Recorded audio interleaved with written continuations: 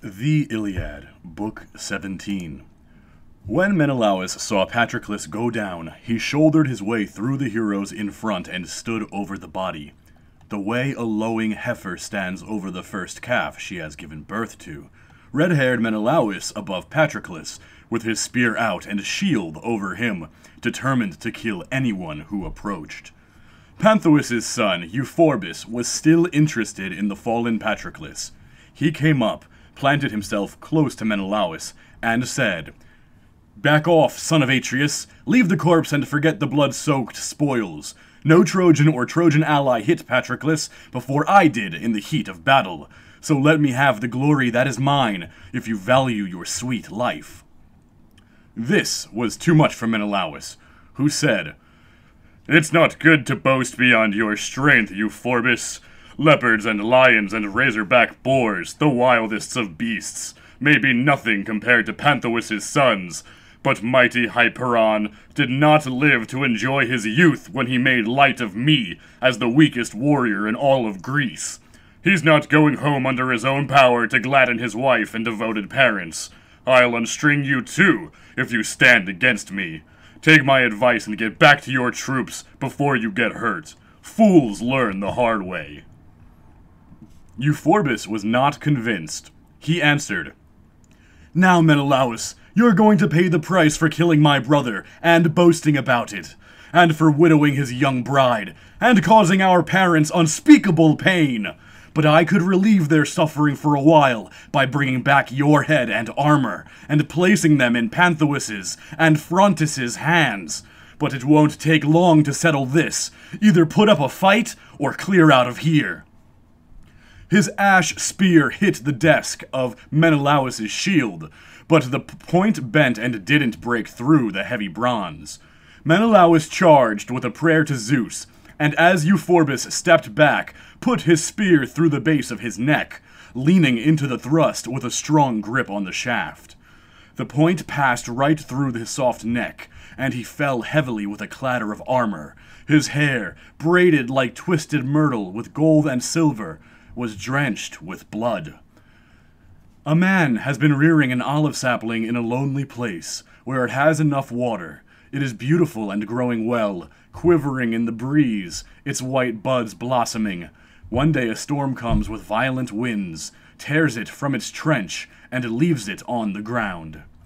So too Panthous' son, Euphorbus. Menelaus moved in to strip off the armor. A mountain lion, supremely confident, has seized the finest heifer in the grazing herd. First, he crunches her neck in his strong jaws, then greedily laps her blood and soft innards.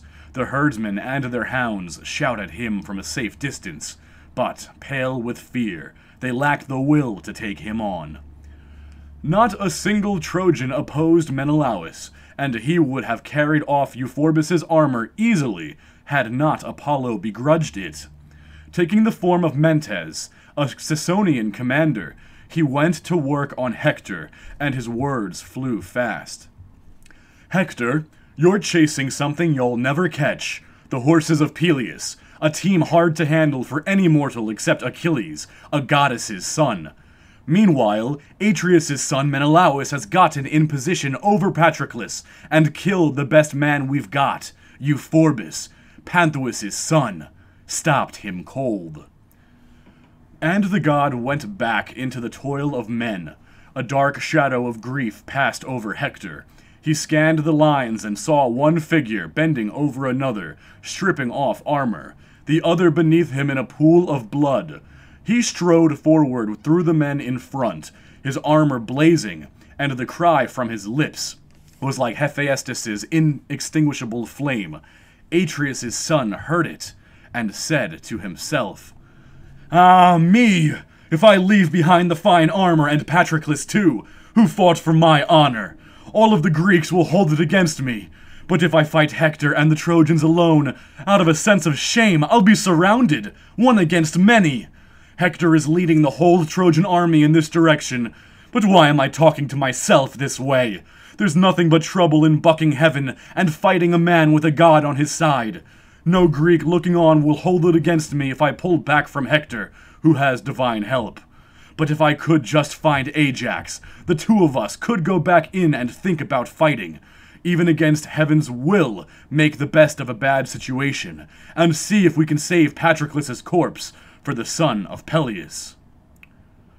While he thought it over, the Trojans closed in behind Hector.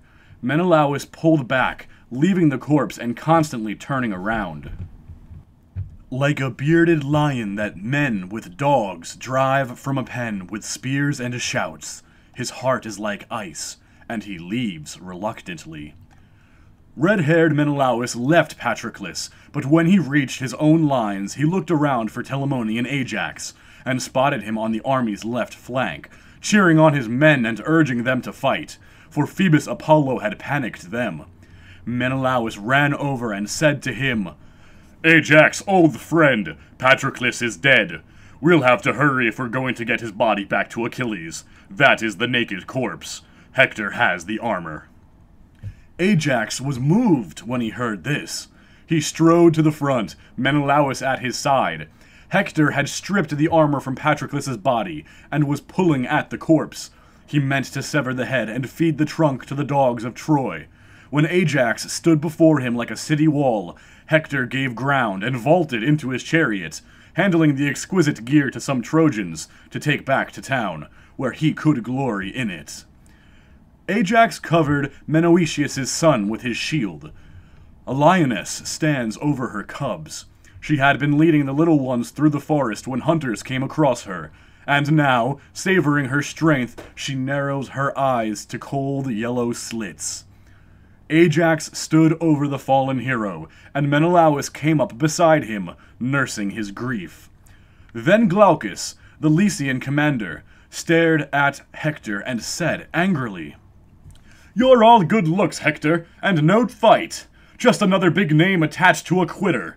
Well, you'd better think now how to save your city with homegrown Trojans and nobody else.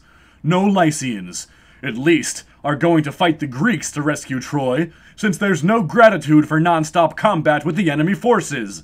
Are you likely to save an ordinary soldier in the press of battle when you left Sarpedon, your comrade and guest, as pickings for the Greeks? After all he'd done for you and your city, while he was still alive, and you didn't have the heart to keep the dogs off his head.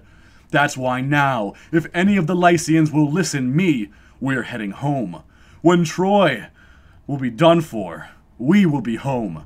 If only the Trojans showed the sort of courage real men have when they fight for their country against foreign invaders, laying it all on the line, we would drag Patroclus to Troy in no time. And if we did, if we got that man's corpse out of battle and into Priam's great city, the Greeks would give back Sarpedon's armor, and we could bring his body into Ilion. That's how great a man the dead Patroclus served, the best of the Achaeans, and his soldiers too.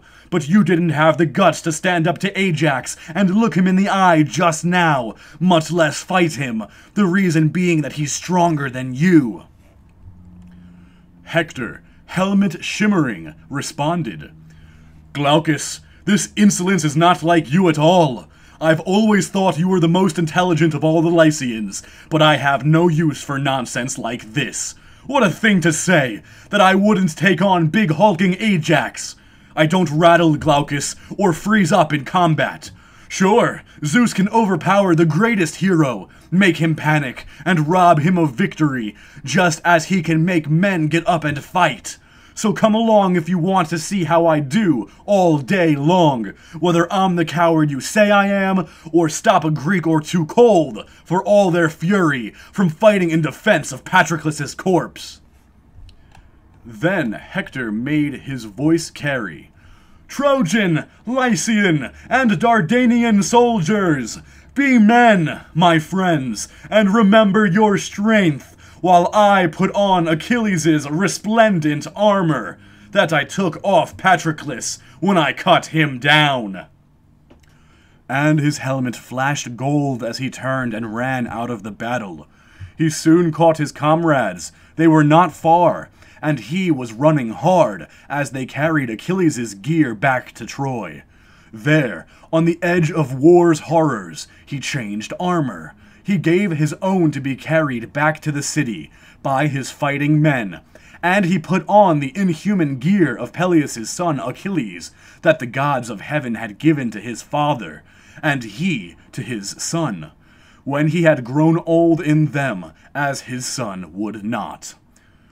Zeus saw him from his high seat in the clouds, as he buckled on Achilles' armor, shaking his head. The god said to himself, Unhappy man, you have no thought of death, yet death is close.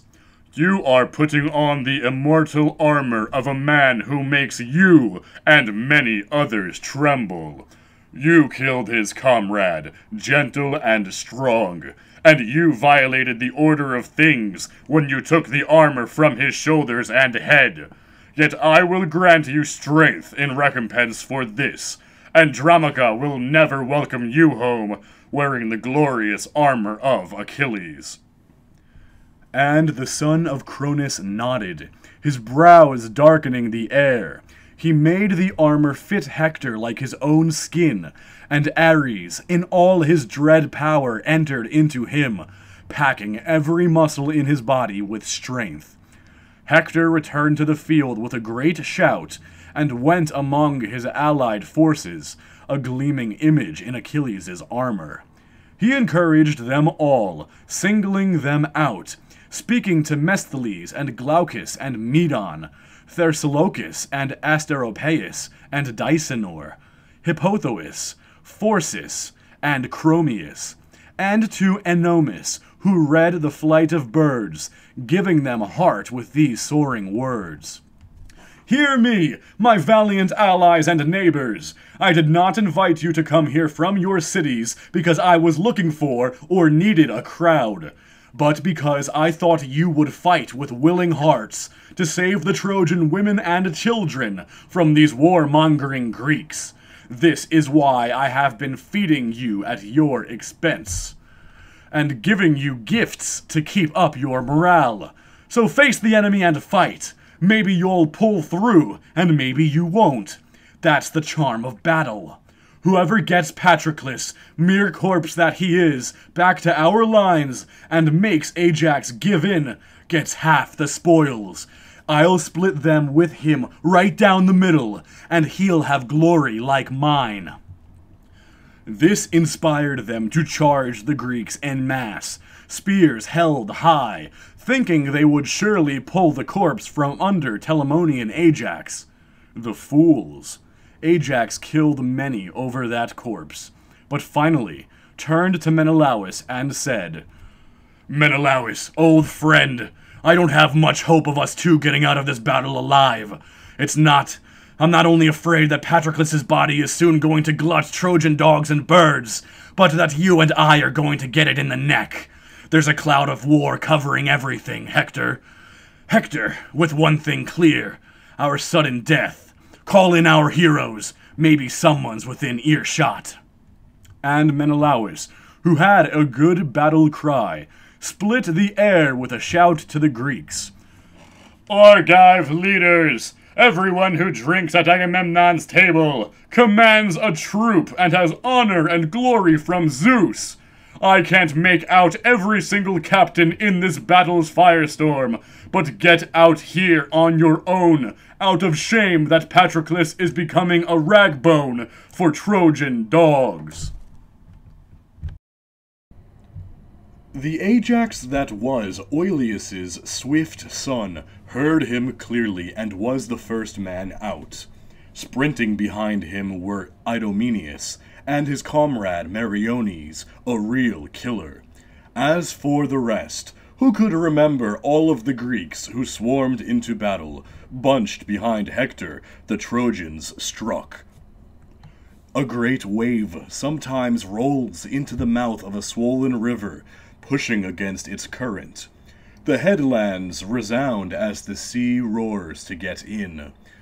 The Trojans came on, but the Greeks stood firm, around Menoetius' son, their hearts united, their bronze shields locked, and from above Zeus poured over their dark gold helmets a profound mist, for Menoetius' son had been far from hateful when in life he was Achilles' companion. Now he loathed the thought of his enemies' dogs playing with his body, and so he roused his comrades to fight for him. At first, the Trojans drove the wild eyed Greeks back from the body, and although, for all their efforts and high spirits, they failed to land a spear on anyone, they started to pull the corpse away. The Greeks, however, were back soon, rallied by Ajax, who looked and acted more like a hero than any living Greek, except peerless Achilles. Ajax split the Trojan front lines, as a wild boar in the mountains tosses dogs and men when he turns on them in a clearing. This was the son of Telamon, glorious Ajax, scattering the Trojan platoons that stood around Patroclus and wanted nothing else more than the glory of dragging him back to their city. Hippothous, a Pelasgian, had tied his war belt around the corpse's ankles and was hauling it inch by inch through the fierce fighting, much to the satisfaction of Hector and the Trojans. None of them could have stopped what happened next. Ajax's spear coming from nowhere and smashing through his plumed helmet.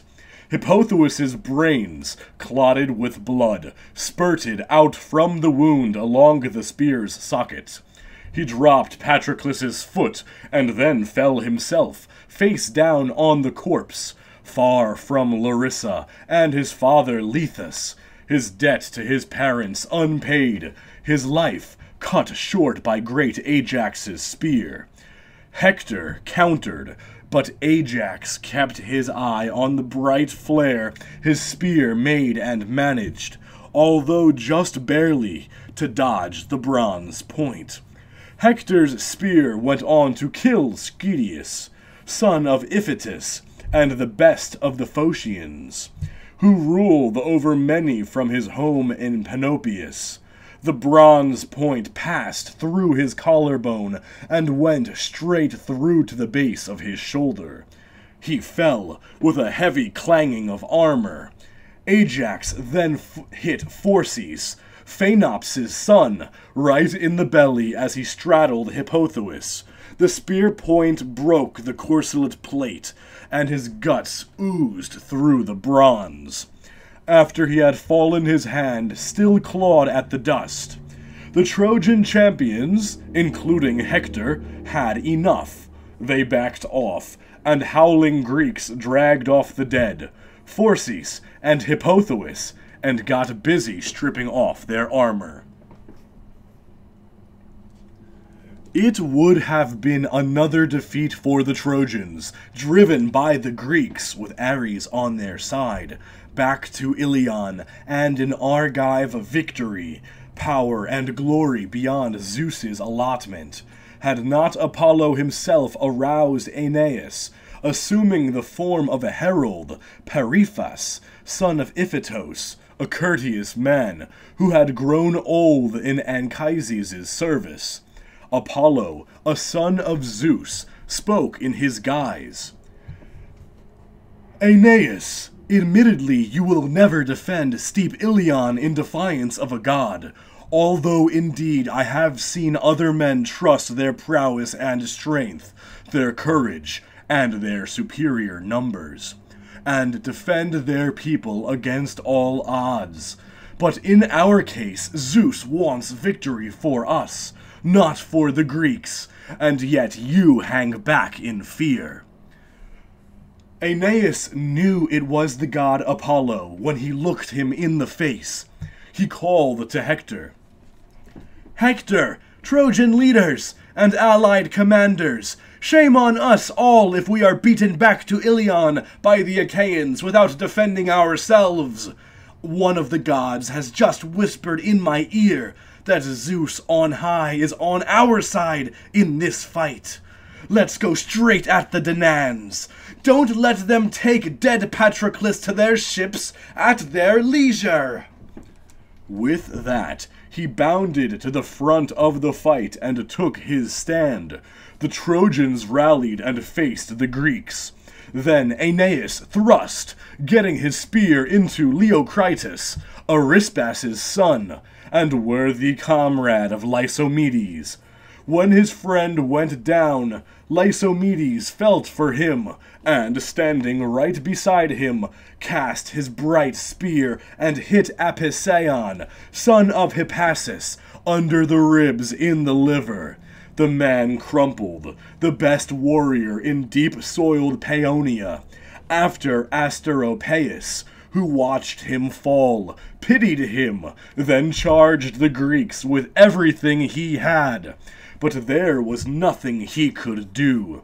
The Greeks had formed around Patroclus a wall of shields, forward from which they held their spears. Ajax was everywhere among them, seeing to it that not a man took one step backwards from the body, or went out in front to show off, but that all stood together and fought close in. That was how big Ajax managed it, and the earth grew wet with dark blood as the dead fell thick and fast on both sides.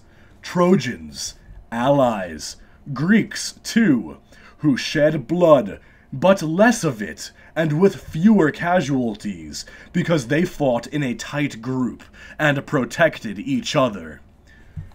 So the battle burned on, but you would have thought the sun had gone out, and the moon too, for they fought in dark air. All the heroes clustered around Menoetius's slain son. The rest of the Trojans and Greeks had their war under the open sky and in brilliant sunlight. Not a cloud on the horizon.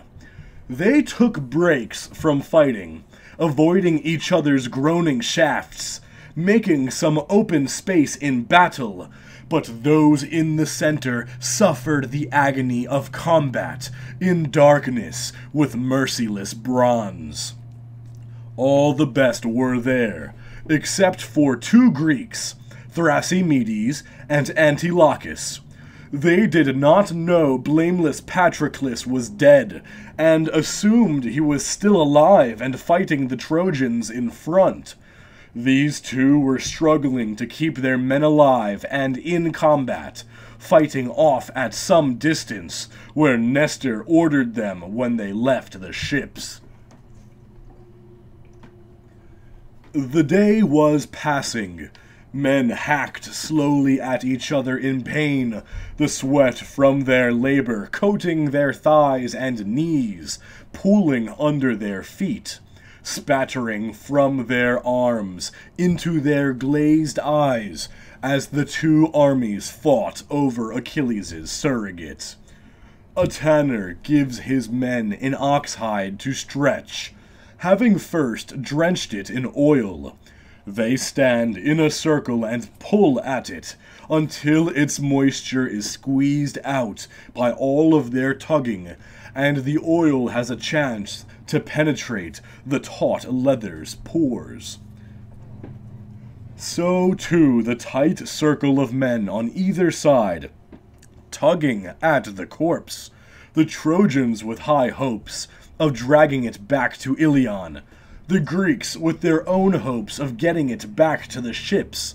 It was a savage fight, and not even Ares or Athena, in their most belligerent moods, could have watched it with disdain.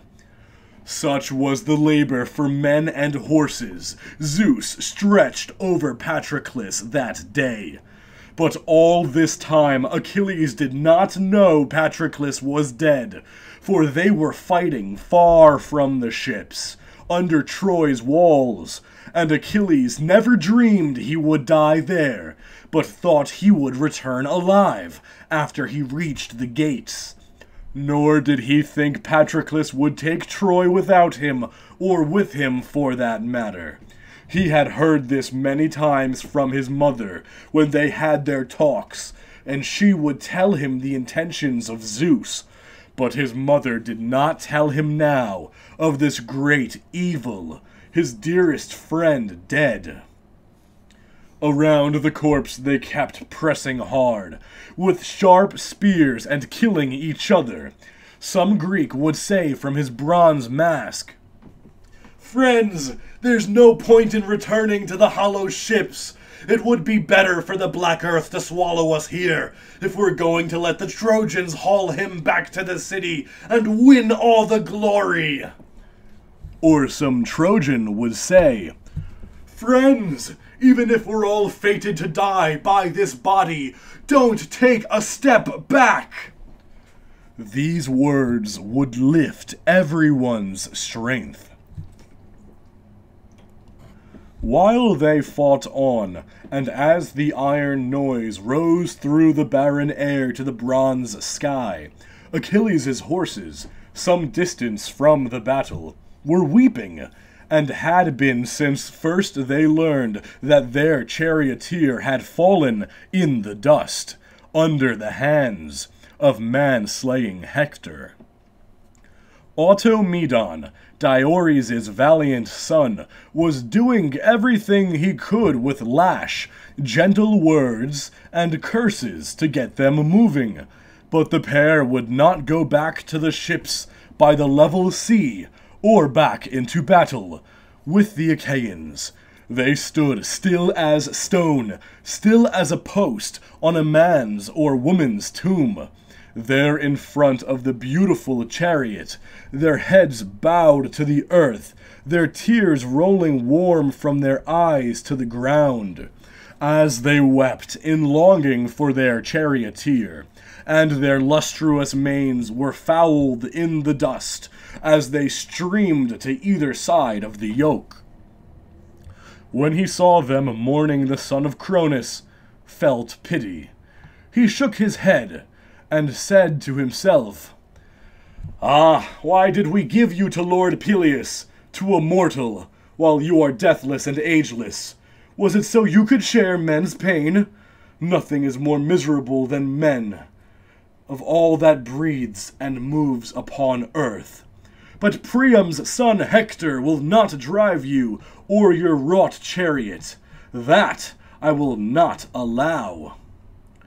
Is it not enough that he has the armor, and struts vainly in it?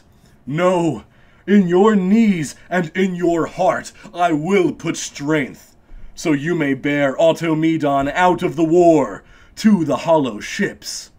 For I will continue to give the Trojans glory to kill until they reach the ships, and the sun sets, and the darkness, the sacred darkness, comes on. And he breathed into the horses great strength. The two shook the dust from their manes, and raced with the chariot through the combatants. Automedon kept trying to fight, though grieving for his comrade, swooping with the horses like a vulture on a flock of geese, easily leaving the clamor of the Trojans behind, and just as easily bearing down on them. But he could not kill any of his quarry, since he was alone in the haunted chariot, and could not handle a spear and drive too. Finally, a friend saw him and caught his eye. Alcimedon, son of Laerces Haemonides, who now stood behind the chariot and said, Automedon, which god has put this bad idea into your head and robbed you of your good sense? Fighting the Trojans up here in the thick of things all alone. Your companion is dead, and Hector is strutting around in old Peleus' armor. Diores' son Automedon answered, Alcimedon, is there a man in the army who could control these immortal horses besides Patroclus? He had a will like a god's while he lived. Now death has caught up with him. But take the lash anyway, and the reins, and I will dismount so I can fight.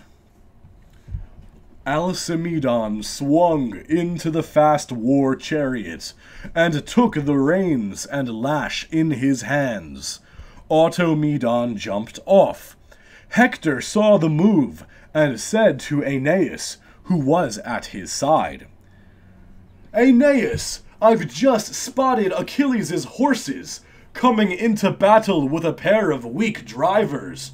I think I could take them if you would help. Their drivers couldn't stand up to men like us. Aeneas was willing, and the two went forward, shoulders hunched behind their shields, pounds of bronze welded to hardened leather. With them went Chromius and the godlike Aretus, who fully expected they would kill the men and drive off the high necked horses. But Automedon would extract blood. For these childish hopes, he prayed to Lord Zeus and felt a dark surge of power within him. Then spoke quickly to his trusted driver. Alcimedon, keep the horses close enough that I can feel their breath on my back. Hector won't stop until he mounts the chariot behind Achilles' horses, with us dead and the rest of the Argive army in rout, or until he himself goes down in the front. And he called to both Ajaxes and to Menelaus. Ajax, both of you, and Menelaus too! Leave the body for the best men you have, to defend it against the Trojan onslaught, and come help us out while we're still alive. Hector and Aeneas have weighed in here. The best Troy has. Well, it's in the gods' laps. I'll do what I can and leave the rest to Zeus. He balanced his long shadowed spear and threw, hitting Aretus's shield, which did not stop the bronze point from penetrating all the way through and into his belly, just below his belt. When a strong man swings a sharp axe onto a bull's neck just behind the horns, and cuts through all the sinews there, the animal pitches forward as it falls. Aretus pitched forward and fell on his back, undone by the razor sharp spear that stuck, quivering in his entrails. Hector rifled his polished spear at Automedon, but Automedon saw it all the way and ducked, leaving it to punch into the ground and stand there, trembling, until Ares finally stilled its fury. They would have closed on each other with swords, but the two Ajaxes, responding to their comrade's call, stepped between them, sending cold chills through Hector, Aeneas, and Chromius, who all withdrew, letting Aretus lie there, mangled and dead, as Automedon stripped him, he said with grim satisfaction, This makes up for the death of Patroclus, though it is a lesser man I have killed.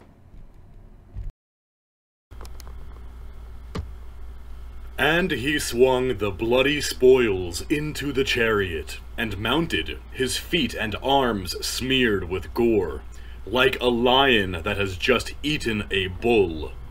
The tense fight over Patroclus went on, made even more tense now by Athena, who stepped down from the sky, sent by Zeus. Zeus sometimes sends a shimmering arc from the sky as a portent of war, or of a cold rainstorm that brings men in from the fields and vexes the flocks.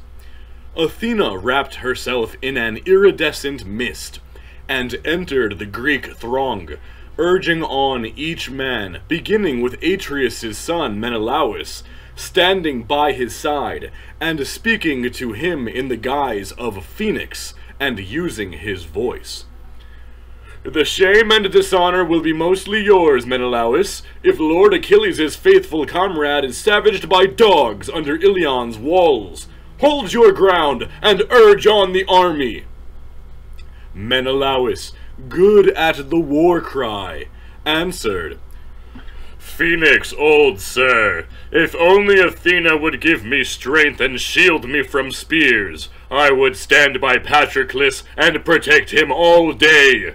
I take his death hard, but Hector is on fire, just carving us up with his bronze. Zeus is giving him all the glory.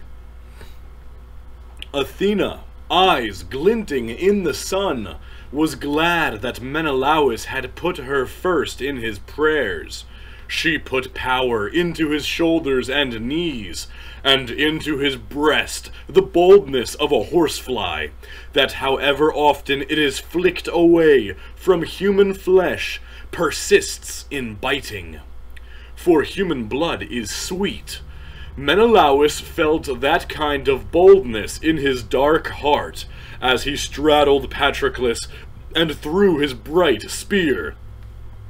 There was among the Trojans a certain Podes, a son of Eetion, a rich, valiant man, whom Hector honored with a place at his table.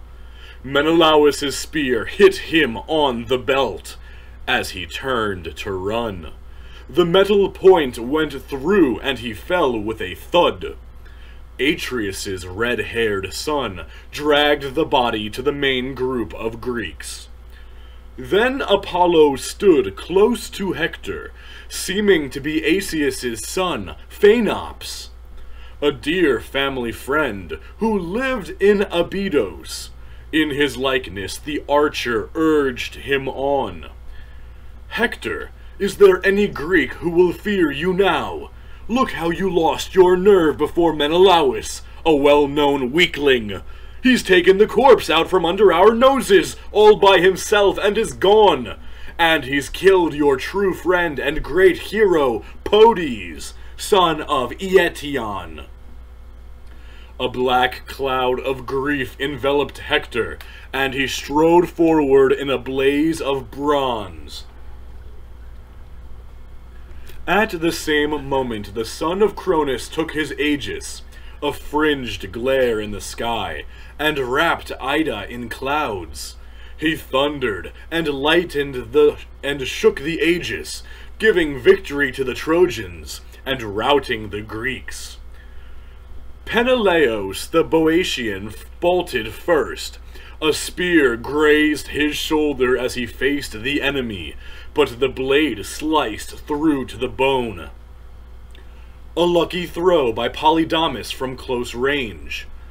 Leitus was next, nicked on the wrist by Hector, enough to make him quit the fight, seeing he couldn't grip a spear properly.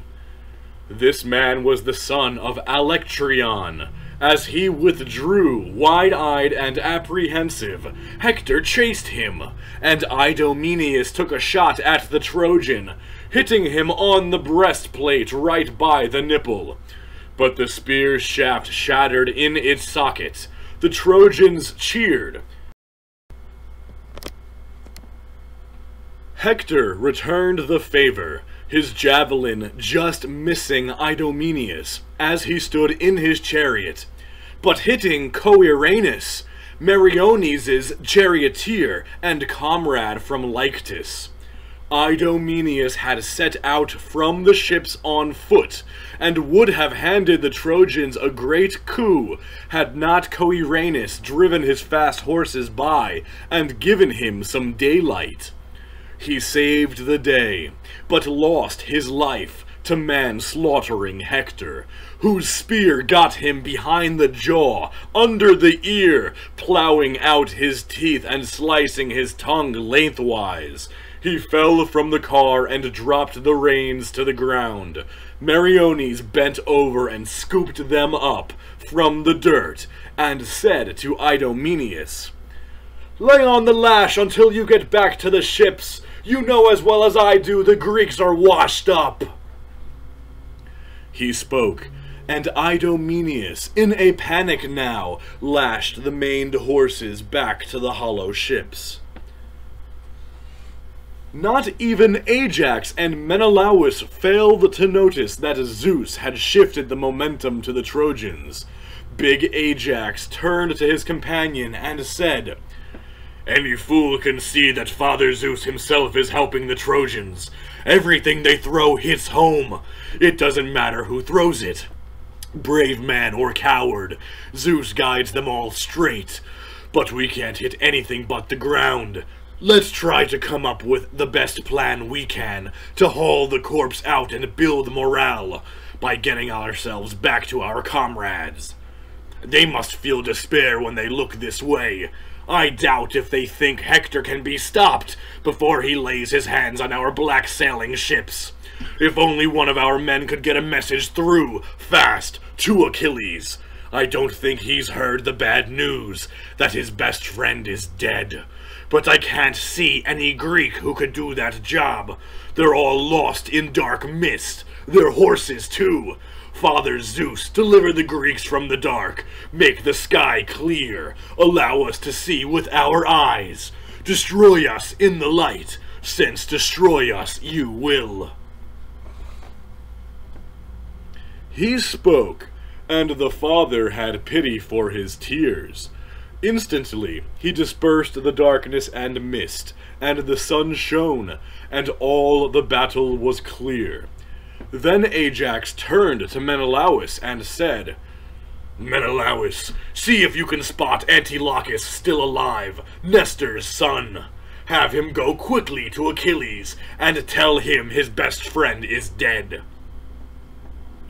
Menelaus, who was good at the war shout, couldn't argue with this and started to leave very much like a lion that leaves a corral after it is tired of vexing the men and dogs, who, standing guard all night, will not allow it to seize the herd's prime bull. Lusting for flesh, the lion charges, but gets nothing for it, but a rain of javelins launched by bold hands, and flaming torches that stop it in its tracks. At dawn, the lion goes off in a sullen mood. Menelaus was just as reluctant to leave Patroclus's body, afraid of a general rout that would leave him stranded behind enemy lines. He lingered to remind his comrades of their duty. Both you Ajaxes, and Meriones too, Everyone should keep in mind what a good man our Patroclus was, gentle and kind to all, when he was alive, and now death has taken him. Finally, Menelaus left, glancing every which way. An eagle, whose eyesight is the keenest of all the birds in the sky, can spot from high altitude a rabbit crouching under a leafy bush, and, swooping down, catch it and instantly rip out its life. Yes, Menelaus, that's how your bright eyes swept everywhere through the allied troops, searching for Nestor's son. Was he still alive? And yes, spotted him on the battle's left, encouraging his men and urging them to fight. Menelaus made his way to his side and said, I have bad news, Antilochus. You know some god has turned the tide against us. Well, now the best of the Achaeans is dead. Patroclus. God, that it were not true. Run to the ships and tell Achilles. If he acts quickly, he might still save the body. Naked, though. Hector has the armor. He spoke, and Antilochus was choked with horror. He was speechless, astounded. His eyes welled with tears. His voice stuck in his throat. But he did not disregard Menelaus's orders. He started to run, giving his armor to his charioteer who drove beside him. He left the battlefield on foot and in tears, with a grim report for Achilles, son of Peleus. Menelaus had no intention of staying to help the sore-pressed troops from Pylos, who already missed their commander Antilochus. He dispatched Thrasymedes in his place, and ran back to take his stand over Patroclus, next to the Ajaxes, to whom he said at once, I've sent Antilochus there ahead to the ships to go to Achilles, but we can't count on Achilles coming any time soon. He may want Hector badly, but he can't fight the Trojans unarmed and naked. We have to come up with the best plan we can to get the body out and escape ourselves from this deafening battle without any casualties. It was Big Ajax who came up with the plan. Right, Menelaus. You and Meriones get the body up on your shoulders and carry it out. We'll be behind you, holding off the Trojans and Hector. We have the same name and the same heart, and we've stuck with each other in battle before. They got their arms round the corpse and raised it high off the ground. The Trojans shouted out when they saw the Greeks lift their body and charged. Hunting dogs, after a wounded boar, will run up in front of the hunters, and for a while threaten to tear the boar apart. But when the boar pivots and trusts its strength, the dogs quail and slink back one by one. So too the Trojans, who would launch mass attacks, thrusting with swords and double-edged spears. But when the two Ajaxes wheeled and made a stand, they would all turn pale, not a single man willing to make a quick move and contend for the corpse. In this way, this little knot of Greeks did their best to carry Patroclus's body out of combat and back to their ribbed ships, while against them the battle strained and coiled, as wild as fire when it engulfs a city, suddenly, and sets it aflame, and the houses shrivel in the heat, and the wind roars like thunder. So too, as they went on, the eternal din of horses, cars, and spearmen, noise like heat. Or think of a team of mules, matched in strength, dragging a load down a craggy mountain path, a beam, say, or a huge ship timber. Their spirits flag with the toil and sweat, but they push on. So these two Greeks pushed on with the corpse, and the two Ajaxes held the enemy off. A wooded ridge that lies across a plain will check the cruel currents of swollen rivers, turning them back to spread over the plain, and the floods, though strong, never break through. So the two Ajaxes contained the Trojans' offensive push, but the Trojans kept coming, and two among them especially, Aeneas, Anchises' son, and glorious Hector. A cloud of starlings or jackdaws will loop around, shrieking doom when they see ahead of them a falcon, which brings death to smaller birds. So too before Aeneas and Hector, the Greeks ran shrieking, as if it were the end of the world. The trench was littered with their beautiful, discarded weapons. But there was no armistice.